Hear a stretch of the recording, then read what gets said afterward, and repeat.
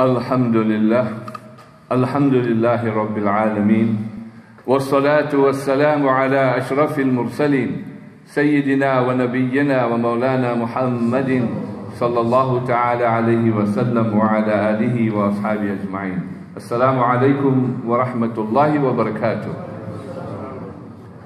It's a privilege and an honor again to have Maulana Mukhtar Khan with us today. He'll be addressing us the last Jum'ah. In the month of Ramadan. We thank him for being here again. Thank you, Islam. بسم الله الرحمن الرحيم نحمده ونصلي على رسوله الكريم أما بعد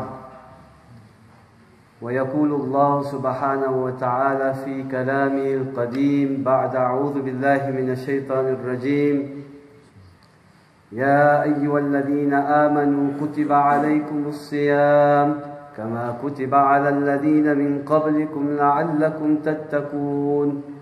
فقال حبيب المصطفى صلى الله تعالى عليه وآله وسلم للصائم فرحتان فرحة إذا أفطر وفرحة إذا لقي ربه صدق الله مولانا العظيم. وصدق رسوله النبي الحبيب الأمين الكريم. ونحن على ذلك من الشاهدين والشاكرين والذاكرين. Walhamdulillahi Rabbil Alameen. Beloved, respected, Honorable Ustad, Hazrat Allama Maulana Shaykh, Imam Hassan Walele Qibla Sahib, Shaykh Munir, Ulaman, Hufad, Ikram, beloved brothers and sisters in Islam, Assalamu alaikum wa rahmatullahi ta'ala wa barakatuh. Generally, Jummah is a very happy and pleasant day because it is our weekly Eid. But today there is a bit of mixed emotions because it is the very last Jummah in the blessed and beautiful month of Ramadan. We ask that Allah subhanahu wa ta'ala grant us understanding and the ability to be able to perform as much a'mal salihat in the few days that is left and that Allah subhanahu wa ta'ala grants us all the blessings and the benefits and the hidden treasures that is still to be hidden in these last few days of Ramadan inshallah. If we truly knew, if we truly understood the actual value of the month of Ramadan, then we would wish and we would ask Allah subhanahu wa ta'ala to make every month of the year the month of Ramadan, subhanallah. And as the English saying goes, you do not know a good thing until it's gone.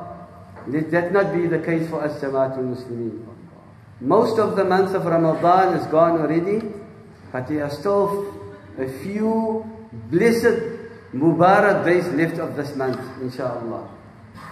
Subhanahu wa ta'ala says, بعد أعوذ بالله من الشيطان الرجيم يا أيها الذين آمنوا كتب عليكم الصيام Hazrat Anas bin Malik radiallahu ta'ala and he says, when Allah subhanahu wa ta'ala, wherever Allah subhanahu wa ta'ala addresses us in this manner, Ya ayyuhalladina amanu, then we must know, we should listen carefully because a very important command, a very important order of Allah subhanahu wa ta'ala is about to follow that we should implement. Or a, and a prohibition is about to follow that we should stay away from. So Allah says, Ya ayyuhalladhina amanu kutiba alaykum siyam Oh you believe, I have made incumbent on you fasting in this month of Ramadan. كما كتب على الذين من قبلكم Like it was made farad upon the previous ummahs, the previous prophets and, and their ummahs. Sayyidina Ali karramallahu wajhul karim and there are various examples but obviously time is very short so I want to give you the example of Sayyidina Adam alayhi salatu wasalam. Sayyidina Ali karramallahu wajhul karim he says that he went to the house of Rasulullah sallallahu alaihi wasallam on one occasion and he knocked he was given permission to enter he entered and greeted and Rasulullah sallallahu alaihi wasallam returned his greeting and said Ya Ali Jibreel is present as well and he gives his greetings and he says that you must fast three days out of every month. Three days out of every month. The first day, the, the reward of the first day of fasting is that of 10,000 years of fast. The second day of fast, fasting is that of 30,000 years of fast. And the last day of fasting is that of 100,000 years of fast. And those days are the 13th, the 14th, and the 15th of each month, which is called the Ayami Bayd. And the Sahaba Ikram Ridwanullahi Ta'ala and, and Sayyidina Ali radiallahu ta'ala, in fact, he asked Rasulullah Sallallahu is this exclusive to me? Nabi Muhammad Sallallahu Wasallam, is to you and to anybody who wishes to fast on these days, subhanAllah. They will attain these rewards. So Sayyidina Ali is relating this to the Sahaba Ikram and they say, what is the meaning of Ayami Bayd? What, what does it mean? So Sayyidina Ali Karamallah Wajah al-Karim explains that when Sayyidina Adam alayhi salatu wasalam was sent by Allah subhanahu wa ta'ala from Jannah unto this dunya, Sayyidina Adam alayhi salatu wasalam body became scorched and burned from the sun. And Allah subhanahu wa ta'ala sent Jibreel alayhi salatu wasalam to Adam alayhi salam and said, Ya Adam, if you want your body to return to, to, to the, its original condition, then you need to fast on the 13th and the 14th and 15th of each, each, each month. And when Sayyidina Adam fasted for the very first time, on the first day, a, a, a third of his body became uh, back to normal. On the second day, uh, six, uh, two thirds. And on the last day, his entire body was, uh, be, uh, was back to normal again, subhanAllah. So Sayyidina Adam, alayhi salatu wasalam, in this instance was the first to be commanded with fasting. Allah says, يا أيها الذين آمنوا كتب عليكم الصيام كما كتب على الذين من قبلكم لعلكم تتقون so that you may attain God consciousness. How Jamaatul Muslimin from a Shari perspective to abstain from food and drink and from sexual relations. Hazrat Abu Nasr radiallahu ta'ala reports with a Sahih Sanad from Hazrat Salman al-Farsi radiallahu ta'ala that on the last day of Sha'aban, Rasulullah sallallahu alayhi wasallam made this khutbah. Nabi Muhammad sallallahu alayhi says, O people, a very esteemed month is upon us, in which is a night that is greater than a thousand months. Allah subhanahu wa ta'ala has made fasting fard in this month and standing in ibadat in, in its nights as very dear to Allah subhanahu wa ta'ala. A person who performed one good deed, says Rasulullah sallallahu alaihi wasallam, in this month, or completed an act of a fard act, his reward would be of someone who completed 70 faraid in any other month. Subhanallah. This is the blessings of the month of Ramadan, of the hidden treasures to be found, Jamaatul Muslimin. This, says Rasulullah sallallahu alaihi wasallam, this is the month of sabr. And the reward of sabr is nothing else but Jannah. Subhanallah. Allahumma ja'alna minhum. This is a month of goodness, is Rasulullah sallallahu alayhi wasallam, and of doing good, of doing good and doing good to others as well. Whomsoever has given for breaking of someone's fast, all his sins will be forgiven, says Rasulullah sallallahu alayhi wasallam. And the Sahaba Ikram Ridwanullah ta'ala alayhim ajma'in, they says, Ya Rasulullah sallallahu alayhi wasallam, we are not always by the means to give, to give to, for someone to break their fast. And the Nabi Muhammad says, even if you just give one date or a bowl of milk or a bowl of water for someone to break their fast, then that is, that is better for you, subhanAllah. This is such a month that the first stage is of mercy, the second stage of forgiveness, and the last stage is for, for freedom from the fire of Jahannam, Jamaatul Muslimin.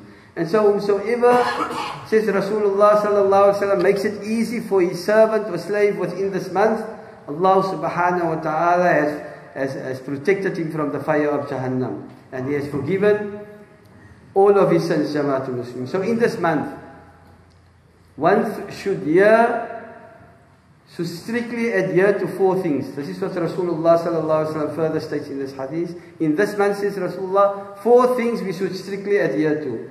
Two of these things will make Allah subhanahu wa ta'ala happy. And two of these things is what we need, Jamaatul Muslimin. So for the first thing, that will make Allah subhanahu wa ta'ala happy is to testify that there is no none other worthy of worship besides Allah subhanahu wa ta'ala. Ashhadu an la ilaha illallah. This is what we need to say. Ashhadu anna Muhammadan Rasulullah. This is what makes Allah subhanahu wa ta'ala happy. Secondly, says Rasulullah sallallahu alayhi wa sallam is seeking forgiveness from Allah subhanahu wa ta'ala. Astaghfirullah. We have to say this abundantly, Jamaatul Muslimin, in this month. As for the other two things which, will, which we are in need of is firstly to ask Allah subhanahu wa ta'ala for Jannah and to ask Allah subhanahu wa ta'ala to free us and protect us from the fire of Jahannam. Allahumma inna nas'aluka ridaka wal jannata wa na'udhu bika min sahatika wal nar. This is the advice that Rasulullah sallallahu alayhi wa gives us. And whomsoever fit a person to his full in this month, says Rasulullah sallallahu alaihi wasallam, Allah subhanahu wa ta'ala will grant him or her to drink from the grand Kawthar, from the well of Kawthar, and that person will never be thirsty on this dunya or in the akhirah ever again after Allah subhanahu wa ta'ala has allowed him to drink from the well of Kawthar. Hazrat Abu Nasr radiallahu ta'ala narrates from Hazrat Abu Sa'id al-Khudri radiallahu ta'ala that Rasulullah sallallahu alayhi wa says that on the first night of Ramadan, the door to the Sama and the door to Jannah is open for us. And this stays like this Jamaatul Muslimin until the end of Ramadan. Subhanallah, what an opportunity for us. That the door to the Sama and the doors to Jannah is open. And whatever believer, male or female, spends this nights of Ramadan in Salah, Allah subhanahu wa ta'ala rewards each sajda with 100, 1,700 good deeds, Jamaatul Muslimin. This is the Sahih Hadith of the Nabi Muhammad sallallahu alaihi wasallam. Spending the value of spending your nights in ibadat, fasting during the day and spending the night in ibadat, standing for Allah subhanahu wa ta'ala. It will so be recorded in your book of deeds, Jamaatul Muslimin. And for them is built a house of rubies with a thousand doors. This is the size of the house. This is what Rasulullah sallallahu alaihi wasallam. This is for the sa'im that fasts during the day and makes ibadat in the night to Allah subhanahu wa ta'ala in the month of Ramadan. A house of ruby is built as big with a thousand doors, Jamaatul Muslimin. And this house is built for this person in Jannah. And whomsoever fasts the entire month of Ramadan for Allah subhanahu wa ta'ala's sake, all of their sins are forgiven, Jamaatul Muslim. Are we not in need of this? Subhanallah. And so, a palace on every day that we fast in the month of Ramadan, a palace is built, Jamaatul Muslimin, with a thousand doors of gold, and 70,000 malaikas wait from morning till evening in anticipation for the arrival of the Sa'im, Jamaatul Muslimin. Subhanallah. Abu Nasr radiallahu ta'ala narrates bil isnad from Hazrat Abdullah ibn Abbas that he heard Rasulullah sallallahu alayhi wa alayhi wa sallam says that Jannah prepares itself every year from, from the one Ramadan to the next. The Jannah is already in anticipation, it's preparing itself for the, for the Ramadan to come, Jamaatul Muslimin. So on the first night of, of Ramadan, from beneath the arsh of Allah subhanahu wa ta'ala, a breeze, a breeze starts to blow by the name of Mushaira. Mushaira is the name of the breeze, and this breeze is caused by the leaves of the trees in Jannah. Subhanallah. On the very first night of, of, of, of, Ramadan, this breeze starts to blow Jamaatul Muslimin. So in order for us to experience all of this, we need to be tuned into that frequency, into the frequency of Allah subhanahu wa ta'ala. You cannot tune into 786 and, and, and, and expect to listen to voice of the Cape. You have to be tuned into the correct frequency. So if we want to experience these beautiful ni'mas and blessings of Allah subhanahu wa ta'ala, we have to be tuned in spiritually to that of, of, the, of, the, of the frequency of Allah subhanahu wa ta'ala, Jamaatul Muslimin. And then Jamaatul Muslimin, such a beautiful sound emanates from the wind a sound, says Rasulullah sallallahu that you've never heard before. You can think of the most beautiful sound, the beautiful qira'ah that Shaykh uh, recited today. Beautiful voice for some of us. our, our, the voices of our wives would be a beautiful sound, Sheikh? Yes? No? No? MashaAllah. Yes. Rasulullah sallallahu says, you think of the most beautiful sound that you've ever heard, but this sound of the voice of Mushaira, the wind that blows from Jannah, is far more beautiful, Jamaatul Muslimin. And the Hurun Een of Jannah, they come together and they call out, Is there anyone that was, will ask Allah subhanahu wa ta'ala to be with us? And Allah subhanahu wa ta'ala will marry them with us. And the Hurun Een, they then say to, to, to, to the, the gatekeeper of Jannah to Ridwan, they say, which night is it tonight, Ya Ridwan? And he alayhi salatu wasalam, he answers them and he says, Oh unmatched beautiful ones, this is the first night of Ramadan and Allah subhanahu wa ta'ala commanded me to open the doors of Jannah. For those who are fasting of the Ummah of the Nabi Muhammad sallallahu alaihi wasallam and ordered Malik, the gatekeeper of Jahannam, to close the doors of Jahannam, Jamaatul Muslimin.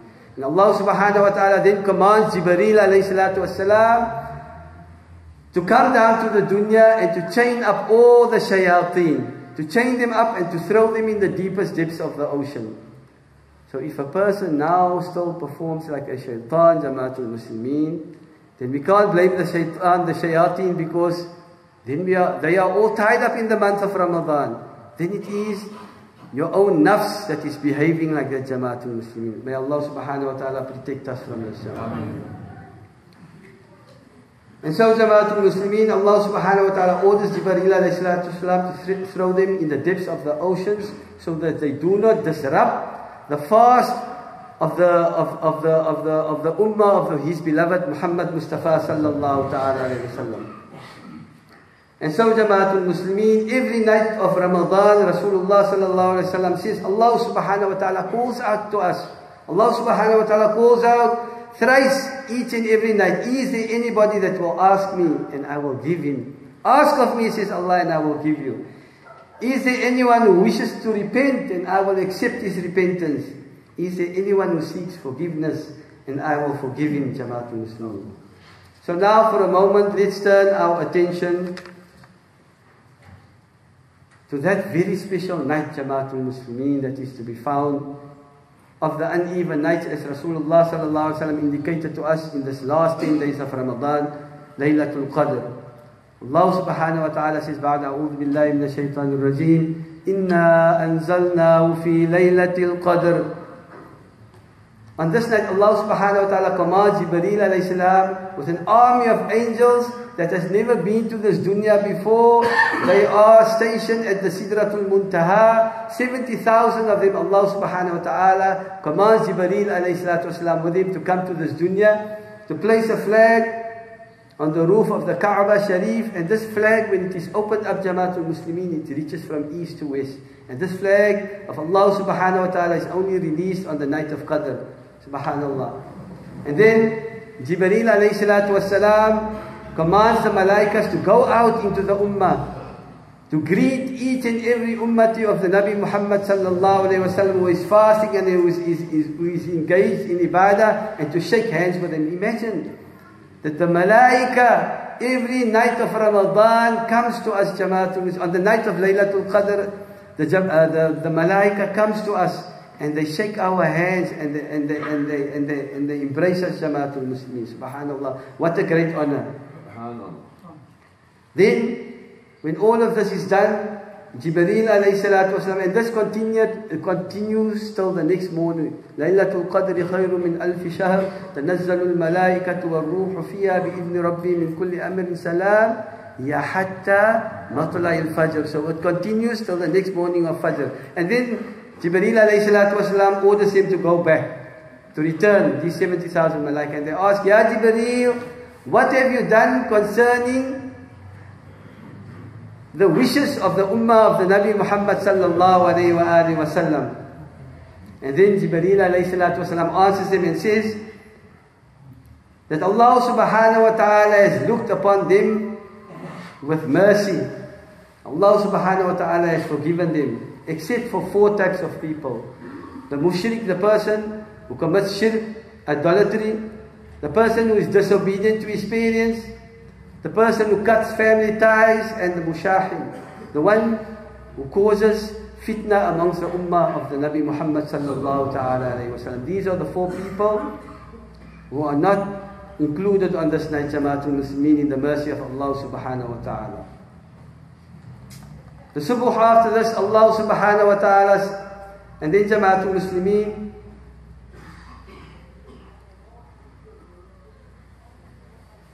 on the night of Eid, when Eid al-Fitr arrives, on that subuh, the malaika is sent to the streets and pathways and calls out in such a voice that all of creation can hear it except from the human beings and the jinn. Except insan and jinn can hear the voices Jamaatul Muslimin. And they say, um, O Ummah of Muhammad sallallahu alayhi wa sallam, hasten towards your Lord so that he may forgive you and reward you abundantly. They then advance to the masajis on the morning of Eid and, this, and Allah subhanahu wa ta'ala addresses the malaikas and says, oh, O, o oh, malaika, you are a witness to the fact that I personally reward those who fasted and who was engaged in ibadah in the nights of Ramadan. I personally reward them with my forgiveness, subhanAllah. Then Allah subhanahu wa ta'ala says, O my slaves, addressing the ummah of Muhammad sallallahu alaihi wasallam, ask of me وَبِعِزَّتِي وَجَلَالِي And I swear by my honor and by my dignity, I swear by my majesty, that as long as you're sitting in this gathering, whatever you ask of me regarding the akhirah, I will grant you. Whatever you ask of me of the akhirah, I will grant you without a doubt. And whatever you ask of me of, uh, of this dunya, I will look at it favorably. And I will, I will see what if it is good for you or not. This is what Allah subhanahu wa ta'ala promises us Jamaatul Muslimin. Huzuri Akram sallallahu alayhi wasallam says that Allah subhanahu wa ta'ala calls out the entire month of Ramadan.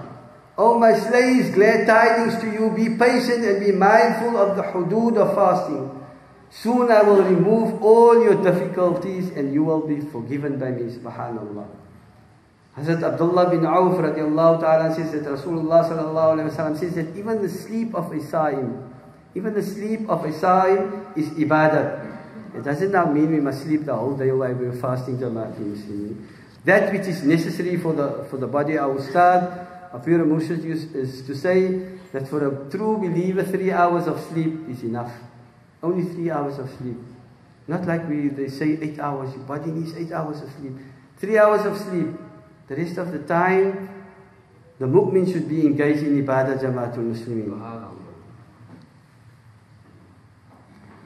Inna anzalnahu fi laylatul qadr. Verily, we revealed this Quran on the night of Laylatul Qadr. Hazrat Abdullah ibn Abbas and the Mufassir, other Mufassirun, they tafsir this ayah, they say, Allah subhanahu wa ta'ala says, we have revealed the surah, inna anzalna, in the entire Quran on the night of Qadr, from the Lawhil Mahfuz to the Sama'i Dunya. And from there, Jamaatul Muslimin, on different occasions, on different days, in piece by piece, it was revealed to the Nabi Muhammad sallallahu alayhi wa sallam. وَمَا أَدْرَاكَ مَا لَيْلَةُ الْقَدْرِ And Allah says, O Muhammad sallallahu alayhi wa sallam, who do you know the greatness of this night if we did not reveal it to you, if we did not say it to you? لَيْلَةُ الْقَدْرِ خَيْرٌ مِّنْ أَلْفِ شَهْرٍ That this night, making ibadat in this night is better than making ibadat in a thousand months, Jamaatul Muslimin, where there is no qadr. The Sahaba Ikram Ridwanullah Ta'ala became very happy when this surah was revealed. Because on one occasion, Rasulullah sallallahu alayhi wa sallam related to the Sahaba regarding four Buzrugani deen of Bani Israel. Hazrat Ayyub alayhi salatu wasalam, Hazrat Zakaria alayhi salatu wasalam, Hazrat Hizkil alayhi salatu wasalam, and Hazrat Yusha bin Nun alayhi salatu wasalam. They, these four slaves of Allah subhanahu wa ta'ala, for 88 years continuously they were engaged in the ibadat of Allah subhanahu wa ta'ala without transgressing any of the laws of Allah subhanahu wa ta'ala. And the Sahaba uh, Ikram alayhi salatu wasalam, they became astonished when Rasulullah sallallahu alayhi wa told them about it. And then Jibreel alayhi salatu wasalam, he came, and he says, Ya Rasulullah sallallahu alayhi Wasallam, your Sahaba, they are astonished at that.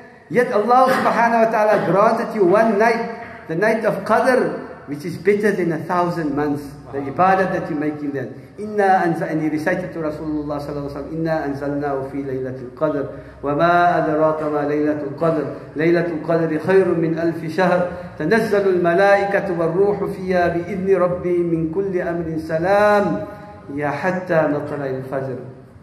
The Haq narrates from Ibn Abbas radiallahu ta'ala and that the ruh تنزل الملائكة والروح والروح is that malaika with a human face and the body of an angel.